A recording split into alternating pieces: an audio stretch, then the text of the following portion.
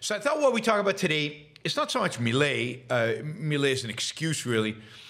But what we should really talk about uh, with regard to Milei uh, is how do you take a statist economy? How do you take an economy in which the government is in woven into every aspect of it? How do you take an economy in which uh, the government controls, regulates, taxes, redistributes, uh, subsidizes, and everything else? How do you take it and how do you, how do you liberalize it? How do you liberate such an economy? What are the steps uh, one would take? What are the steps one should take? Now, obviously, Milei has already put a program together, at least step one he has suggested in front of Con- in front of Congress. We talked about that a um, a few um, a few uh, weeks ago when he proposed it, the 300 items. Uh, and, and a lot of it is right in line with what I'm going to be saying today in terms of the way to approach it. But I think it is important to think this through and to think about the principles that should guide you, uh, I'd say, through many of the first phases, the first uh, uh, stages of uh, liberating an economy. Uh, and uh, so that's what we're going to talk about. What are the steps? What are the stages? How do you get from where you are today to a free market? What are the things that the government should do in order to get us there, in order to maximize the speed by which we get to freedom, minimize, if you will, the um, the the pain, and and it's not so much I mind the pain. Sometimes pain is needed, but uh, the pain uh, likely results in increase increased um, uh, opposition to your plan. So part of part of doing it right is to do it in a way that doesn't uh, create political barriers to actually achieving the plan. So uh, uh, I think that's really really important in uh, in the process.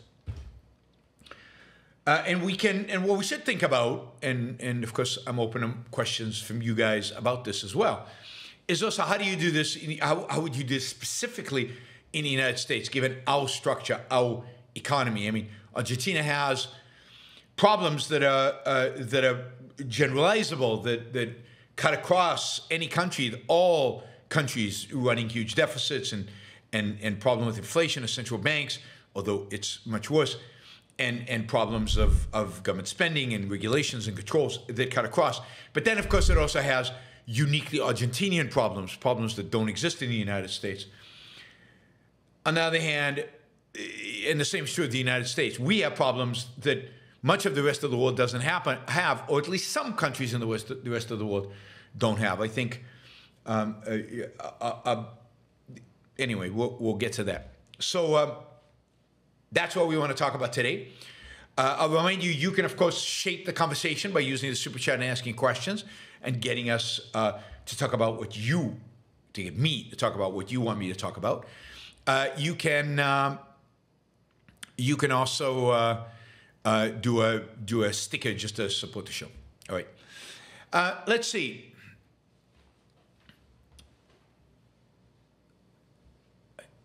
Let's talk about. Uh, so let's talk about um, what you do in order to liberate an economy.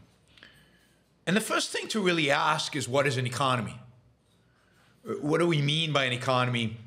What is important in an economy? Uh, what is what is an economy? And I'd say the the the, the core of an economy, the, the most important part of an economy, or, or really all of the economy, the economy is production and trade. That's what an economy is. It's the production and trade of goods and services. And, uh, you know, consumption is one side of the trade. But the funny thing about how the world operates and how Keynesian economics has kind of shaped the way policymakers really frame the debate around economics, it's almost like the only thing that matters is consumption. The only thing that matters is the consumer. Consumer sentiment, consumer willingness to spend, consumer consumer, uh, you know, the, the prices that they face. It's all about the consumer. It's all about one side of the trade. And I think that's what you have to really have to break if you're going to reform a mixed economy, a statist economy, a Keynesian driven economy, which is almost every economy in the West today. So if an economy is production trade, that's what you need to focus on. You need to focus all your efforts on liberating production and liberating trade. Not one side of the trade, but the trade, the entire activity. So let's break that down. I think the most important thing to do when you're trying to free up an economy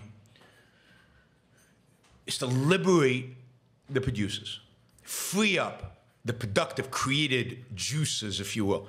Well, juices is wrong, right? Free up the productive and creative minds that people have, the productive and creative energy and will that people have, that entrepreneurs and businessmen have. The most important thing you can do is to liberate production. And to liberate production means the most important thing you can do is to get rid of regulations, controls, any kind of controls that limit or steer production. That means slashing regulation, cutting them left and right, every way you can. Now, the process of cutting regulation has to be thought through so that you don't create crises in the meantime, particularly in the financial sector. But in most other sectors, just get rid of them. Get rid of all the controls that dictate what people can invest in and what they can produce and what they can create. So, you know, just, just look at look at um, the airline industry uh, before uh, deregulation. Airline industry used to be controlled by the government. The routes, the prices, capacities were all dictated by government. This is before deregulation in the late 1970s. And then that was done away with. And what happened is, is a boom in, in flying. Prices dropped dramatically, capacity increased substantially, competition exploded, capital investment exploded, investment in customer facing, consumers, at the end of the day, they need consumers, right? Exploded. And you got a dramatic increase in efficiency, productivity, and at the end of the day, in the number of miles that people fly. I mean, it's just the numbers astounding in terms of the growth.